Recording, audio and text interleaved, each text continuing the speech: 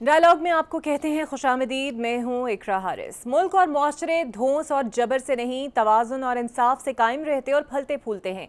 लेकिन आज हमारे मुल्क में इंसाफ नापैद है और तोज़ुन के नाम पर इदारा अपनी हदूद क्रॉस करने को फ़र्ज़ समझ रहा है। पार्लियामेंट के पास आइन साजी के अख्तियार हैं, मगर वो कानून बना सकती है, तरमीम कर सकती है और कानून ख़त्म भी कर सकती है। लेकिन ये अख्तियार लामहदूद नहीं। सियासतदानों का कौन सा कानून आइन और अवामी मफाद के मनाफी है, इसका फैसला सिर्फ़ सुप्रीम कोर्ट ही कर सकती है। वक्त की ज़रूरत है कि इदारों में तसादम के बजाय तोज़ुन पैदा किया जाए, लेकिन अफसोस से कहना पड़ता है कि हमारे सियासतदान तोज़ुन के नाम पर इदारों की शक्ल सूरत ही तब्दील करने और उन्हें अपने ताबे बनाने पर तुले हुए हैं। ऐसा लग रहा है कि हम एक बार फिर नब्बे की दहाई में आ चुके हैं, जहाँ पर्दे के आगे कुछ और और पसे पर्दा कुछ अलग ही कहानी चल रही है। सियासी तकसीम भी इस कदर हो चुकी है कि कोई भी जमात किसी दूसरी जमात का वजूद तस्लीम करने को तैयार नहीं। मुल्क के सबसे तजर्बाकार सियासतदान मियाँ नवाज़ शरीफ ने आज लंबे अरसे बाद, एक तकरीब में लबकुशाही की, लेकिन उनकी आज की तकरीर में भी ज़्यादातर वही पुरानी बातें, वही गिले शिकवे और इल्ज़ाम की रवानी थी। कुछ जजेस जर्नेलों के बाद अब नवाज़ शरीफ ने आवाम से भी शिकवे शिकायतें शुरू करना कर दिए हैं। वो ये सवाल बार बार पूछ रहे हैं कि जब उन्हें निकाला गया तो अवाम बाहर क्यों नहीं निकली? अवाम ने निकालने वाले से सवाल क्यों नहीं पूछे? आज नवाज़ शरीफ ने तरीके इंसाफ को भी निशाने पर रखा। सूबों के दरमियान पैदा की जाने वाली कशीदगी पर भी बात की। लेकिन नवाज़ शरीफ ने मुतनाज़ आइनी तरमीम आर्टिकल तरेसठ की तशरी के केस समेत मौजूदा सियासी हालात के किसी एक पहलू को भी अपनी तकरीर का हिस्सा नहीं बनाया। यहाँ सवाल ये है कि आखिर इन मामला पर नवाज़ शरीफ के बात ना करने के पीछे कोई हिकमत छुपी है, या फिर वो किसी के हाथों मजबूर हैं?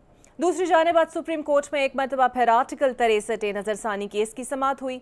पीटीआई के वकील बैरिस्टर अली ज़फ़र ने बेंच पर एतराज़ उठाया तो चीफ जस्टिस काजी फायजीसा ने जजेस की मुशावरत से मुतफ़ा तौर पर इस एतराज़ को मुस्तरद कर दिया।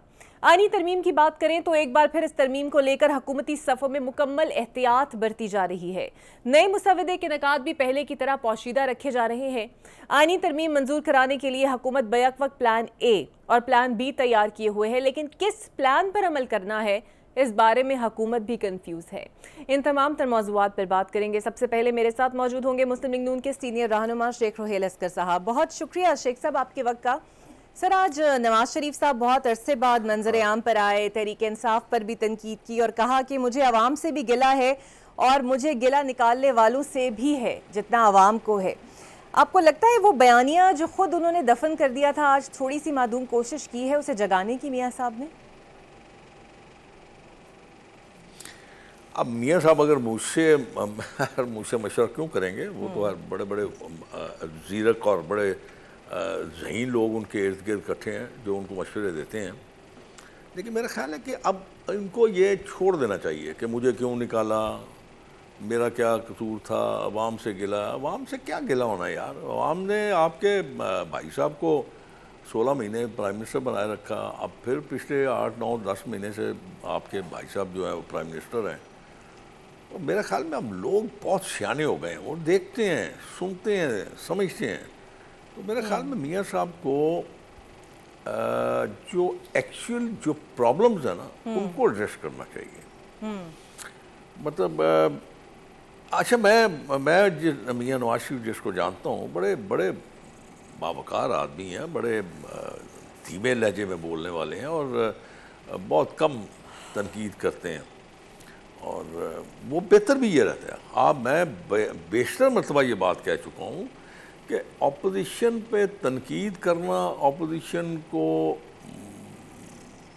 उसकी मुखालफत करना या उनके सवालों के जवाब देना या उनके साथ कंट्रोवर्सी में चला जाना या उनके साथ मुकाबलेबाजी में चला जाना ये आपका जो सफ़र है उसको ख़राब करता है।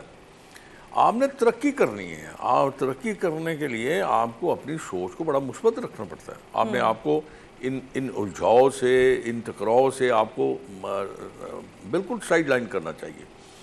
बड़ा अच्छा जा रहा था बड़ा फ़र्स्ट क्लास जा रहा है। भाई आप इलेक्ट्रिसिटी के जो आप नर्ख कम किए आपने ऑयल के नर्ख कम किए और इस तरह की चीज़ें जो हैं वो आप अगर अपने सोच को एक अपनी वो रखें मुस्बत तो मेरे ख्याल में आप काबू कर सकते हैं। अब पता नहीं मैं तो मियाँ साहब के पास नहीं हूँ ना मैं मियाँ साहब के साथ हूँ ना मियाँ साहब की मिशावरत में हूँ। मैं कम अज़ कम हूँ तो मैं मियाँ साहब से बिल्कुल ये कहूँ कि आप अपना फोकस रखें आपके पास बहुत लंबा तजर्बा है। बहुत अच्छा आपके पास एक ऐसा है जिसमें आप लोगों को अच्छी अच्छी एक सेहतमंद ज़िंदगी दे सकते हैं एक बेहतर ज़िंदगी दे सकते हैं। और फिर सबसे बड़ी बात यह है कि मियाँ साहब के ऊपर बैरूनी ताकतें बहुत ज़्यादा क्या करते हैं उनके ऊपर इतमाद करते हैं। ठीक है। तो ये चीज़ें उनको इस्तेमाल करनी चाहिए। मेरा मेरा मेरा मशवरा पता नहीं आप ये सुनते हैं कि नहीं आपका प्रोग्राम सुनते हैं कि नहीं सुनते हैं। सर आप उन्हें डायरेक्ट क्यों नहीं बताते हैं? मुलाकात नहीं होती आपकी? डायरेक्ट भी तो आप मशवरा दे ही सकते हैं? या आजकल थोड़े फासले हैं? कमाल करते हो मैं को अक्लमंद थोड़ी इतना अक्लमंद होता है पता नहीं आप लोग क्यों मुझे बुलवा लेते हो? मैं मेरी समझ से बाहर है। कि मैं कोई इतना कोई अक्ल और दानिश का मालिक तो नहीं हूँ। हाँ। लेकिन बारह मेरी अपनी एक सोच है मेरी अपनी एक समझ है मैं समझता हूँ कि मेरी एक ज़िम्मेदारी है। हाँ। मैं पाकिस्तानी शहरी हूँ। मेरा काम है कि मैं अगर आप मुझे बुलाते हैं तो मेरा काम है आपको सही रास्ता दिखाऊँ। मुझे अगले दिन किसी ने यही बात की थी जो आप अभी बयानिए की बात कर रहे हैं। देखें बीबी बात यह है बयानियों से लोगों के पेट नहीं भरते। Exactly. बयानियों से लोगों के बच्चों के मुस्तबिल बेहतर नहीं होते। कौन पता नहीं कौन आपको समझाता है ये बयानियाँ बयानियाँ बयानियाँ खेल रहे हैं बयानिए उस वक्त होते हैं जब आपके बड़े आइडियल हालात होते हैं। लेकिन अगर आप ये समझते हैं कि आपके पास हालात भी नहीं हैं आपके पास जराए भी नहीं हैं तो बयानिए से तो आपको कोई नहीं वोट देगा। बिल्कुल ज़रूर मैं आपको ये बड़े वसूख से बात कहता हूँ कि मेरी सियासत में बड़ा अरसा हो गया। सेवेंटी नाइन में मैंने पहला इलेक्शन लड़ा। मेरे वालद ने उन्नीस सौ उनहत्तर नहीं उन्नीस सौ नाइनटीन फिफ्टी नाइन में 1959 में उन्होंने पहला इलेक्शन लड़ा। तो एक लंबा मेरे पास एक ऐसा रास्ता है और मैं तजर्बा मेरा अपना ज़ाती तजर्बा भी है। बिल्कुल सही। अच्छा सर से कुछ नहीं होता। बिल्कुल मिसाल मैं आपको नहीं मेरी एक मिसाल मैं यहाँ पे एक आपको मिसाल देने जा रहा हूँ कि आपको शायद पसंद आ जाए या आपके देखने वालों को सुनने वालों को जुल्फकार भुट्टो का बयानिया आपको याद है। रोटी कपड़ा मकान। क्या मिल गया था रोटी कपड़ा मकान? वो ज़िंदा कैसे रहा? बयानिया से नहीं ज़िंदा रहा। जुल्फकार अली भुट्टो को ज़िंदा रखा उसके काम होने कौन से काम थे वो? मैं आपको गिना देता हूँ। तिहत्तर का आइन। एटम शुरू किया न्यूक्लियर न्यूक्लियर पार बनने की कोशिश शुरू कर दी। शुरुआत की। कादियानियों को गैर मुस्लिम किया शराब पे पाबंदी लगा दी और आ, आ, पूरी दुनिया के मुसलमानों को एक जगह इकट्ठा करके कॉन्फ्रेंस कर दी। और यही चीज़ें उसकी मौत का सबब बन गई। लेकिन हुआ क्या कि भुट्टो को मरे हुए अरसा अरस गुजर गया। आप अपनों को भूल जाते हैं लेकिन भुट्टो आज भी ज़िंदा क्यों? इसलिए कि उसने ऐसे काम कर दिए। बयानिए से नहीं ज़िंदा रहा वो। रोटी कपड़ा मकान ने ज़िंदा नहीं रखा उसको। उसे कामों ने उसको ज़िंदा रखा। बिल्कुल सही। अच्छा आज भी आप आज भी आप कर लीजिए। बिल्कुल ठीक। शेख साहब हुकूमती इतिहाद की नज़रें इस वक्त सुप्रीम कोर्ट पर जमी हुई हैं तिरसठ ए के केस को लेकर। और जितनी वजरा बातें करते हैं उन्हें तो पूरा पूरा यकीन है कि ये मामला उनके हल में हक में हल हो जाएगा। और शायद वो ये तफशी का फैसला रिवर्स कराने में कामयाब भी हो जाएँगे। आपको लगता है ये वक्त की ज़रूरत है या हुकूमत वक्त की ज़रूरत है?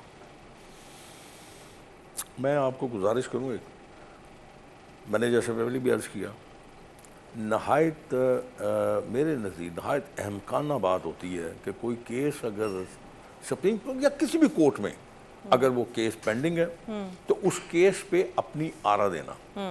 उस केस के मतलब ये बात करना कि वो केस आपके हक में हो जाएगा। क्यों भाई? आप कौन हो? क्यों आप उन मजद जज साहबान को कंट्रोवर्शियल करते हो? कल को अगर फ़र्ज़ कीजिए फ़र्ज़ कीजिए। बकौल आपके या बकौल किसी के भी आपके हक में केस चल जाता है। हम्म। लोग फौरी तौर पे लोगों के दिमाग में ये बात आएगी ये तो पहले कह रहे थे। हम्म। तो लिहाजा अकल और दानिश ये कहती है कि आप अपनी जबान को बंद रखें। और ज़रूरी नहीं कि हर केस आपके आपके हक में फैसला हो जाए।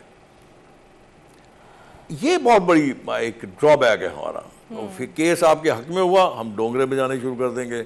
अगर हमारे खिलाफ हुआ तो जजों को हम आड़े हाथों लेंगे। ये गलत तरीका है। मैं इस मैं इस केस बिल्कुल इतफाक नहीं करता। लिहाजा आपको ये अपने आप को बिल्कुल अलग थलग रखना चाहिए। हाँ जिस वक्त केस आपका डिसाइड हो जाए इधर आपके हक में और आपके खिलाफ उसके बाद आपका एक हक बनता है कि आप उस पर क्रिटिसाइज कर सकते हैं। आप अपनी आरा दे सकते हैं आप उस पर बात कर सकते हैं आप कह सकते हैं। लेकिन यहाँ पे किसी की पोजीशन को ख़राब करना ये कुछ दानशमंदी नहीं है। बिल्कुल ठीक है। अच्छा सर आइनी तरमीम के हवाले से जो इतफाक़ राय पैदा करने की कोशिश हो रही है उसमें पीपल्स पार्टी पेश पेश है नून लीग ज़रा गायब है और जमीयत इस्लाम कबल के साथ यही डील कर रहे हैं। तो हुकूमत इतनी पीछे क्यों खेल रही है बैकफुट हो जाएगी हो जाएगी।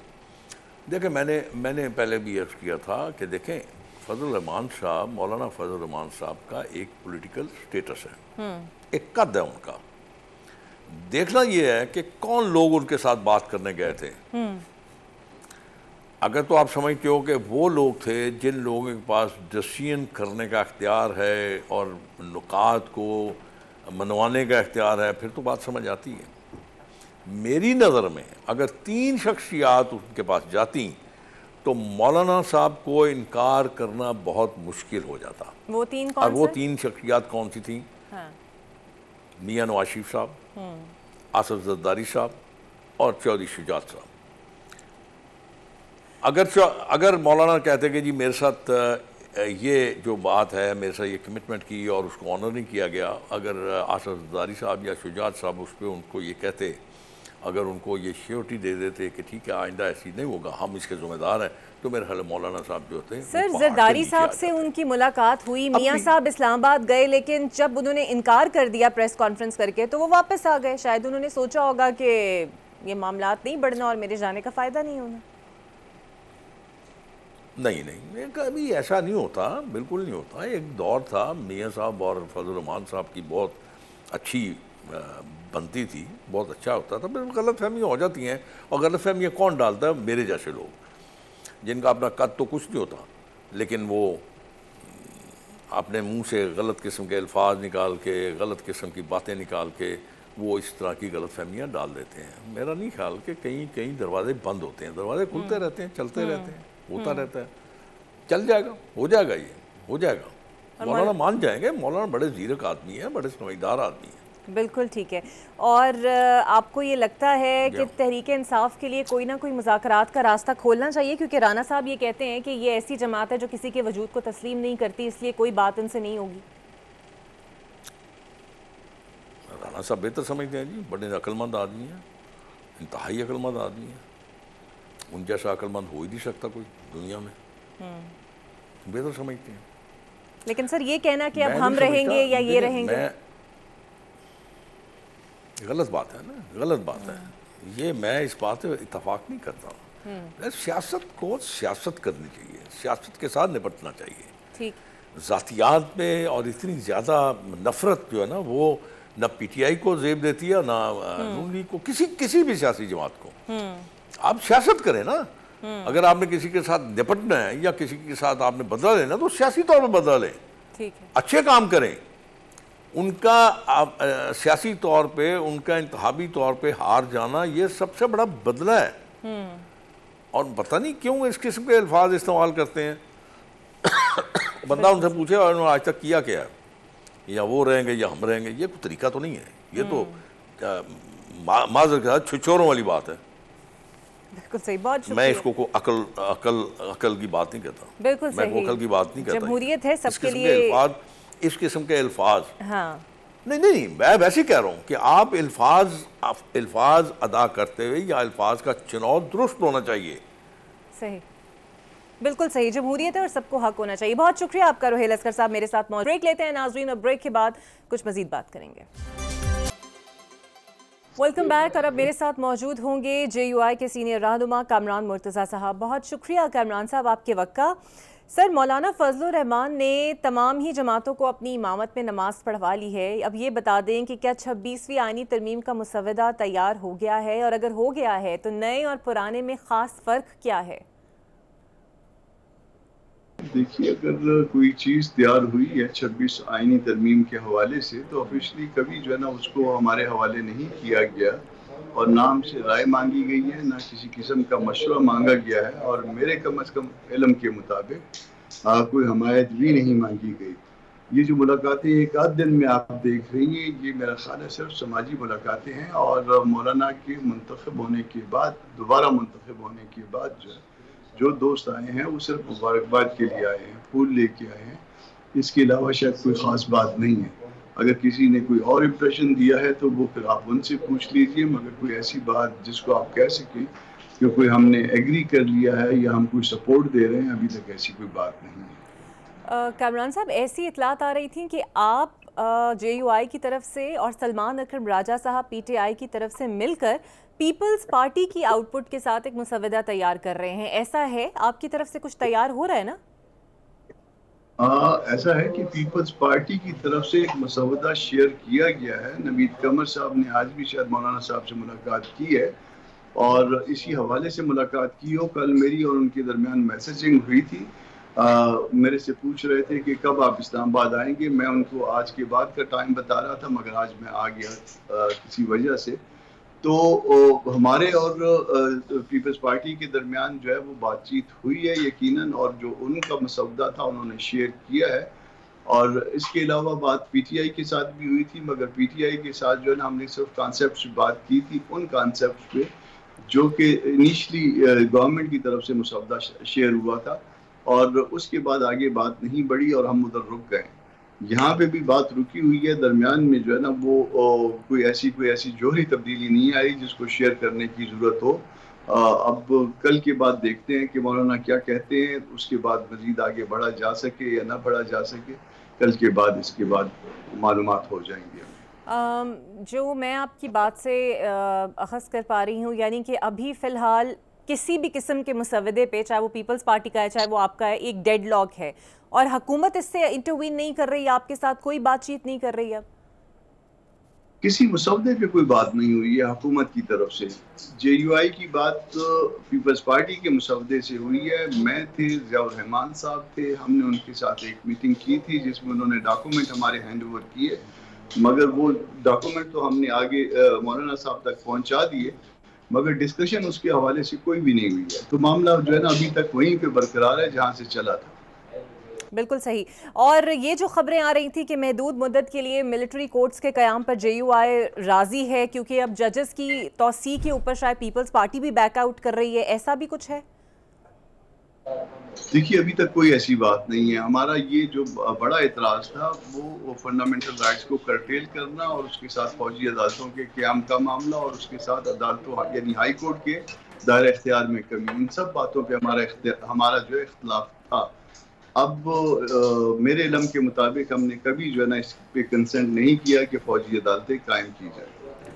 अच्छा और जो मुलाकातें अब हो रही हैं जिस तरह मोहसिन नकवी साहब मुलाकात करने आए हैं वो किसका स्टैंड लेकर पहुँचे? इरफान सदीकी साहब आए क्या वो मियाँ साहब का पैगाम लेकर आए? या फिर सलाम दुआ तक की बात रही? देखिए जो भी पैगाम आए हैं आप उनको इस तनाजुर में देखिए कि मौलाना साहब अमीर मुंतखब हुए हैं जे यू आई के दोबारा। और इस अमीर मंतखब होने के बाद जो है मुख्तफ कारनर से उनके लिए मुबारकबाद के या पैगाम आए हैं या उनके पास कोई दोस्त आए हैं। तो जो भी आया सिर्फ़ इस रेफरेंस से आया है, इसके अलावा किसी मुसवदे पे बात अभी तक कोई नहीं हुई। अच्छा कमरान साहब, लेकिन हकूमती वज्रा जो है, वो अब बड़ी श्योरिटी से बयान ये देते हैं और उन्हें लगता है कि तिरसठ ए की तशरी का मामला अगर रिवर्स हो जाता है तो उनके लिए तरमीम पास कराना बड़ा आसान है। यहाँ तक कि बिलावल साहब ने भी कह दिया है कि अगर मौलाना नहीं मानेंगे तो ये तो पास हो ही जाएगी। तो फिर आप लोगों के साथ कोई बात नहीं हो रही, डेडलॉक वहाँ बरकरार है, लेकिन हुकूमत तैयारियाँ पूरी कर रही है अपनी। देखिए, अगर वो हमारे बगैर वो कर लें तो हम इस पे बड़ा खुश होंगे कि कम अज कम इस गुना में हम शरीक नहीं हुए। अगर कोई और शरीक होता है तो वो कर ले उसके साथ। बाकी, हम अपने आप को जो है ना, वो कोशिश करेंगे कि इसमें जो है ना, किसी मामले में शरीक ना हुआ जाए तो बेहतर है। हम्म। अच्छा आर्टिकल तिरसठ ए की समात हो रही है और पहले तो ये बता दें कि जमयत इस्लाम का इस तशरी पर क्या मौक़ होगा? अगर ये रिवर्स हो जाती है, क्या स्टैंड आपकी जमात का होगा? और दूसरा, एक ख़ास वक्त में केस लगना जजेस का बदल जाना, सदाती ऑर्डिनेंस के ज़रिए कमेटी में रद्दबदल करना, ये दुरुस्त है? फैसला मुतनाज़ नहीं हो जाएगा जो भी आएगा। देखिए वो फैसला भी गलत था और जो कुछ अब हो रहा है वो भी गलत हो रहा है हम्म। फैसला ए पे जो है वो एक हुकूमत जो है वो टारगेट थी और उसको टारगेट करके उनको उसको फारिग किया गया और दस्तूर में जो चीज़ें नहीं थी वो भी डाल दी गई उस फैसले में अब इस केस का दो साल के बाद अचानक जो है ना एक दिन लग जाना जो है वो एक अजीब सी सूरत हाल क्रिएट कर रहा है हम्म। इस वक्त है वो ये मुनासिब नहीं है कि इसके ऊपर फैसला दिया जाए, बावजूद इसके कि वो फैसला जिसके, जो जिसका रिव्यू मतलूब है, वो मैं उसके साथ इतफाक नहीं करता। मगर इसके बावजूद जो है ना, आज ये इस तरह का काम करना जो है, उस अगले फैसले को भी जो है मुतनाज़ बना देगा या जो कुछ सदारती आर्डिनेंस के ज़रिए किया गया, उसने पूरी सुप्रीम कोर्ट को मुतनाज़ बनाया तो इस तरह की हरकतें नहीं करनी चाहिए। तो सर, जो इनिशियली आपकी बात हुई थी पीपल्स पीटीआई के साथ, वो लोग किन किन नकात पे एग्री थे? देखिए, उनके पास कोई ऐसा डॉक्यूमेंट नहीं था कि गवर्नमेंट की तरफ़ से दिया गया होता। और वो डॉक्यूमेंट जो गवर्नमेंट ने हमें दिया है, वो हमें शायद शेयर करने के लिए उन्होंने इजाज़त नहीं दी हुई। और जब किसी चीज़ की इजाज़त ना हो तो देने वाले की चीज़ जो है ना, आगे फर्दर उसको शेयर कर देना। मुनासिब नहीं होता। हमारी तरफ़ से वो डॉक्यूमेंट आज तक शेयर नहीं हुई। वो ओरिजिनल डॉक्यूमेंट था, वो इनिशियल डॉक्यूमेंट था जिसमें 56 क्लासेस थे और वो अभी तक भी शायद मेरा ख्याल है लोगों के साथ शेयर नहीं हुआ। तो हमने भी उसको शेयर नहीं किया। तो उनकी इजाज़त के बगैर गवर्नमेंट की इजाज़त के बगैर पीटीआई के साथ शेयर नहीं कर सकते, मगर हमने कंसेप्ट पे जो उसमें थे, उस पर बात की है। कुछ चीज़ों को हम भी रद्द करते थे, उसमें हमारा इतफाक है रद्द करने के हवाले से। बाकी चीज़ों के हवाले से ये था कि हम फिर दूसरी मीटिंग करेंगे, मगर वो दूसरी मीटिंग नहीं हुई। मैं कोयटा चला गया था। पीटीआई अपने जलसे जुलूसों में मशगूल थी। अब अगर किसी वक्त उनकी तरफ़ से टाइम हुआ तो यकीन हम बैठेंगे, मगर ये बुनियादी तौर पर ज़रूरत हुकूमत की है। अगर हुकूमत को कोई ज़रूरत अपनी पूरी करनी हुई तो वो डॉक्यूमेंट बनाएगी, तमाम स्टेक होल्डर्स के साथ शेयर करेगी, उनसे उनका ओपिनियन मांगेगी, फिर हम उस पर अपनी राय देंगे। और सर अब सवाल यहाँ पर यह है कि अगर हुकूमत अपने प्लान बी का इस्तेमाल करती है तो फिर जेयूआई क्या करेगी?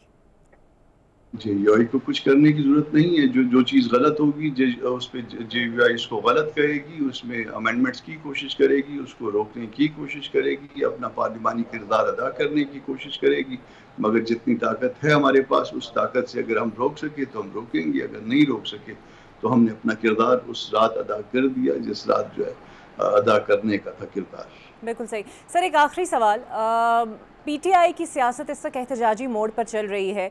बानिया पीटीआई कहते हैं मुजाकरात सबसे बंद कर दें। राना सनाउल्ला साहब कहते हैं ये रवैया बिल्कुल काबिल बर्दाश्त नहीं है। अब तो सूरत हाल ये है कि या तो वो रहें मैदान में या हम रहें। आप लोगों की चूँकि पीटीआई के साथ अब थोड़े कॉर्डियल रिलेशनशिप है आ, आपको लगता है मुजाकरात के दरवाजे बंद होने चाहिए? या ख़ुद बानिए पीटीआई को ये एहतजाजी सियासत तर्क करना होगी? देखिए एहतजाजी सियासत जो है वो उससे ज़्यादा कोई फ़ायदा नहीं होता। बातचीत के दरवाजे जो है पॉलिटिक्स में आपको खुले रखने चाहिए। हम्म। और बातचीत के दरवाजे आपको बजाय स्टैब्लिशमेंट के आपस में खुले रखने चाहिए। आपस में एक दूसरे को कायल करना चाहिए। आपस में किसी एक नतीजे पे पहुँचना चाहिए ताकि मुल्क आगे चल सके। हम मुल्क को पीछे की तरफ़ ले जा रहे हैं। हम्म। बिल्कुल सही। बहुत शुक्रिया कामरान मुर्तज़ा साहब। जे यू आई के सीनियर रहनुमा मौजूद थे।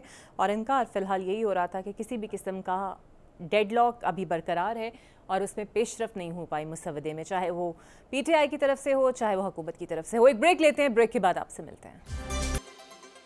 वेलकम बैक, और अब मेरे साथ मौजूद होंगे पाकिस्तान तहरीक इंसाफ के रहनुमा सेनेटर हमायूं मेमन साहब। बहुत शुक्रिया मेमन साहब आपके वक्त का। सर, आज बड़ी लंबे अरसे बाद मियाँ साहब ने अपनी खामोशी तोड़ी और सारी यलगार उन्होंने केपी सूबे पर की। वो कहते हैं, केपी के लोग पंजाब में इलाज कराने आते हैं तो हम उनको सीने से लगाते हैं।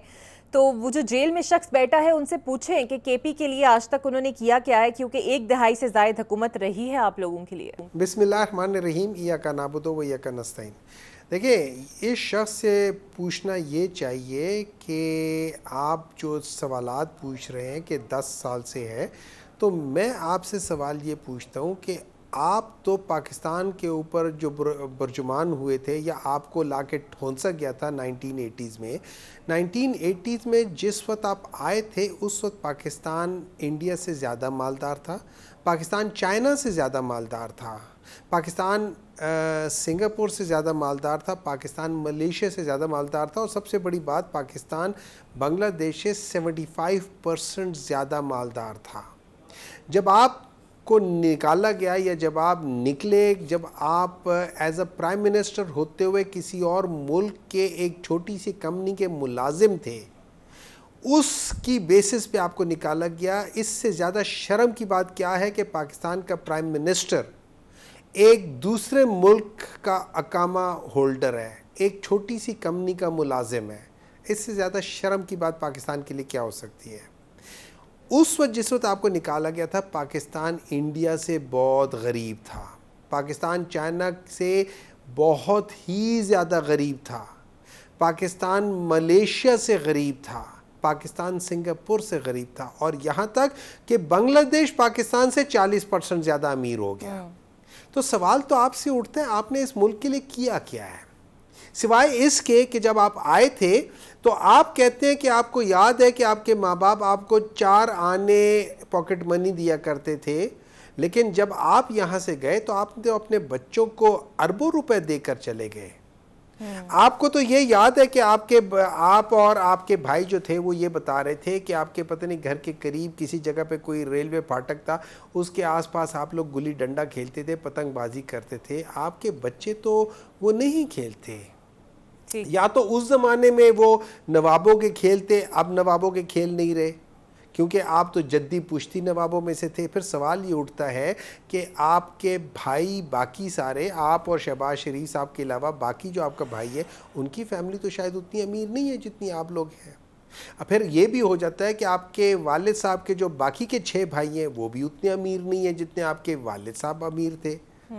ये सारे सवाल तो बहुत सारे उठ सकते हैं लेकिन असल मसला ये है कि आप लोग इस मुल्क को डिवाइड करते हैं एथनिक बेसिस पे आपने हमेशा पंजाब कार्ड खेला है हम्म। आपने हमेशा वो क्या है आप कहते हैं आपकी जहनीत ये है कि वहाँ से लोग आते हैं सेंट्रल एशिया से इस रास्ते आते रहे और पंजाब पे हुकूमत करते रहे हम्म। बिल्कुल आपकी तो ये जहनीत है आप उसी बेसिस पे आप लोगों ने केपी से आने वाले लोगों के ऊपर बैन लगाया। आपने केपी से आने वाले लोगों को कहा था कि तुम पंजाब में एंटर होकर दिखाओ। अच्छा उसमें से जो लोग करीब आए आप लोगों ने उनके ऊपर गोलियाँ तो चलाई। तो यही तो वो कह रहे हैं कि आप गोलियाँ चलाई जैसे आप लोगों ने और वो यही तो कह रहे हैं कि आप लोग कहते हैं कि हम हमलावर होने आ रहे हैं यानी आप दोनों सूबों के दरमियान लड़वाना चाहते हैं लोगों को। देखिए मुझे एक बात बताएँ। सवाल ये उठता है कि पहली गोली मारी किसने? सवाल तो ये उठता है ना पहली गोली किसने मारी? हमने तो सिर्फ़ ये कहा है कि आप एक गोली मारोगे हम दस मारेंगे। आप मुझे ये बताओ आप गोली मारोगे क्यों? पंजाब वाले केपी के ऊपर फायरिंग और की है। ये याद रखें की है। एक दो बच्चों की वीडियोस हैं जिनकी आँखें ज़ाया हुई हैं एक आँख ज़ाया हुई है। किसी को कहाँ गोली लगी किसी को बहुत सारे शेल्स मिले। तो इन लोगों ने एक्चुअली फायरिंग तो की है। हम्म। और ये पंजाब की पुलिस पहली बार नहीं है हमेशा से ये करती रही। इन्होंने बिल्कुल उसी तरीके से जैसे नाइनटीन नाइनटीन में जुलियन वाला बाग में जब कोई एहतजाज कर रहे थे तो वहाँ पे अंग्रेज़ सरकार ने गोलियाँ चलाई थी इन्होंने हम्म। उसी तरीके से मॉडल टाउन में लोगों के ऊपर गोलियाँ चलाई थी हम्म। जहन तो इनका वही अंग्रेज़ों वाला है वो गोरी सरकार थी या चोरी सरकार है कॉन्सेप्ट हम्म। तो इनका एक ही है बिल्कुल ठीक फिर कहते हैं फिर कहती हैं मरियम साहबा कहती हैं कि बहुत कम दो किसी चार कहीं तीन बंदे निकले थे। दो बंदों के लिए आपकी पूरी पूरी पुलिस फोर्स पहुँची हुई थी आँसू गैस फेंक रहे थे। हम्म, हम्म। दो बंदों के लिए। हम्म। मरियम साहबा पता है आप झूठ बोलती हैं इतना झूठ ना बोले। इतना झूठ ना बोले कि मतलब आप एक मज़ाक बन गई हैं। मतलब उसमें तो कोई शक नहीं है कि एक तो आप एक अकेले में एक सेंटेंस पाकिस्तान के ऊपर आप नहीं लिख सकती। एक सेंटेंस अकेले में आप पाकिस्तान के ऊपर नहीं लिख सकती अगर आपको चीटिंग ना कराई जाए। बिल्कुल सही है। और आप आके बातें कर रही हैं इधर। अच्छा मेमन साहब ये बताइए सर आज आर्टिकल तिरसठ ए की समात के दौरान आपके वकीला वकील रानुमा की जानब से जो रवैया अदालत में अख्तियार किया गया वो दुरुस्त था क्योंकि आपको लगता है इस रवैये से इंसाफ मिल सकता है आपको? देखिए, उनसे इंसाफ मिल ही नहीं सकता। उनसे इंसाफ इसलिए नहीं मिल सकता कि सिंपल सी बात यह है कि इस तरह होता है कि जब आपका किसी भी जज के साथ, जब आप कहीं कहीं पर्सनल मैटर आ जाए ना, किसी एक पार्टी के साथ या किसी एक उसके साथ या उन्होंने कभी उसका केस लड़ा हो या उसके ख़िलाफ़ केस लड़ा हो, वो जज कभी उनका केस सुन नहीं सकता। ये जस्टिस गुलजार साहब की एक जजमेंट भी है, काजी फायज ईसा साहब के लिए कि आप कभी पीटीआई के केसेस नहीं सुनेंगे इसकी दो वजूहत है। एक ये क्योंकि इनके ऊपर रेफरेंस दायर हुआ था दूसरी इनकी बेगम ने ख़ुद इंडिविजुअली इमरान ख़ान के बारे में उन्होंने मेरे ख्याल में कोई आ, केस भी किया या केस का कोई पटिशन दायर की थी क्या की थी? और काजी फायज ईसा साहब ने भी शायद इस लिहाज से किया। इनको लेकिन उससे बड़ी बात ये असल जो मसला ये है वो ये है कि ये जो इस वक्त बेंच है ये अनकॉन्स्टिट्यूशनल इलीगल बेंच है। हम्म, हम्म। ये बन नहीं सकता और उसकी वजह यह है कि वो जो थ्री मेंबर बेंच है, जो according to practice and procedure के लिहाज से, उस थ्री मेंबर बेंच चलो, हम, फ़िलहाल हम इस पे नहीं जाते कि ये ऑर्डिनेंस जो है, ये गलत है। और जस्टिस काजी फाइज ईसा के मुताबिक ये गलत है, लेकिन हम उसमें नहीं जाते। लेकिन उसमें यह कहा हुआ है कि थ्री मेंबर बेंच जो होता है, वो डिसाइड करता है। जब तीसरा मेंबर नहीं था, आपने कैसे डिसाइड कर लिया?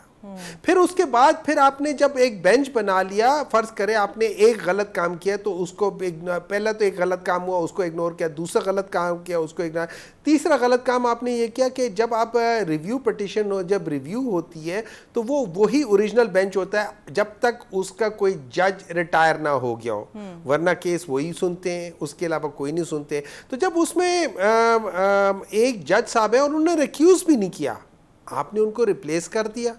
बिल्कुल सही। और अच्छा उसके बाद फिर जब आपको कहा गया कि ये गलत है, चूँकि आप ही के बेंच के ऊपर एतराज़ उठाया है, आप खुद ही कैसे जज कर सकते हो कि नहीं, मैं तो ठीक हूँ?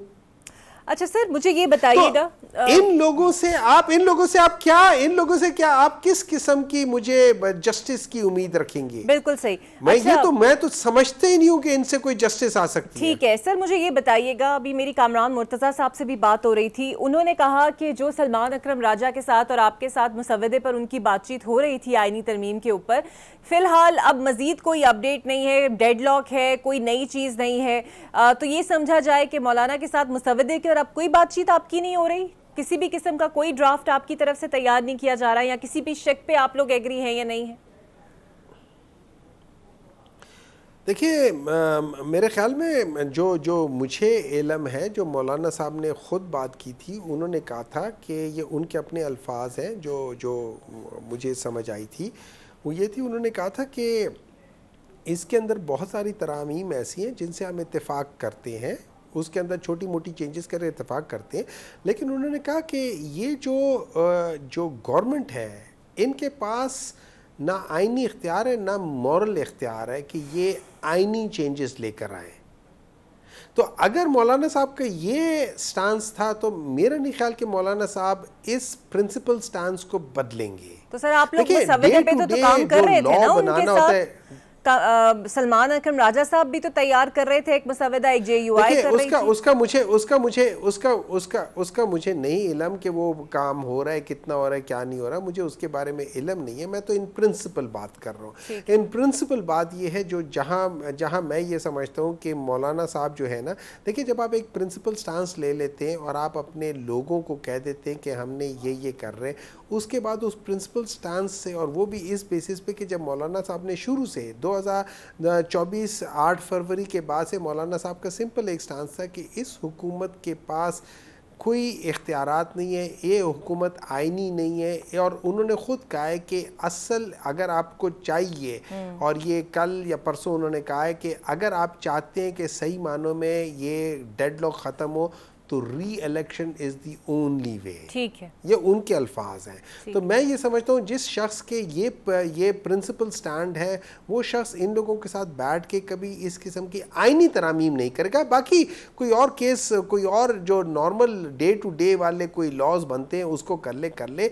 आइनी तरामीम are totally different different game ball उसमें मेरा नहीं ख्याल कि जे यू आई ये करेगी और करना भी नहीं चाहिए। देखिए सिंपल सी बात ये आज जस्टिस मुनीर को हम लोग कितना बुरा भला कहते हैं। बिल्कुल सही। आज इफ्तार चौधरी साहब के ऊपर आज इफ्तार चौधरी साहब के ऊपर बिलावल भुट्टो साहब क्या बातें कर रहे हैं? ये तारीख जज करेगी। अब मौलाना साहब और आपके लिए तारीख में क्या लिखेगी ये भी सामने हम लोग किधर खड़े ये तारीख आज से दस साल बाद पंद्रह साल बाद लोग जज करेंगे फिर लोग कहेंगे कि बिलावल भुट्टो तो इस्टेब्लिशमेंट के लिए स्पोक्स पर्सन बन गया था। उस नाने का बेटा जिसने अपनी जान दे दी लेकिन इस्टेब्लिशमेंट के साथ हाथ सर कुछ ऐसा ही 2013 के इलेक्शंस में आपके लिए भी पार्टी के लिए भी कहते रहे हैं। बहुत शुक्रिया मेहमद साहब आपके वक्त का आ, मेरे साथ थे। देखते हैं कि आने वाले वक्त में हुकूमत मुतफ़ा तरामीम पास करा सकेगी या फिर प्लान बी पर ही रहेगी। मुझे दीजिए इजाज़त अल्लाह हाफिज़।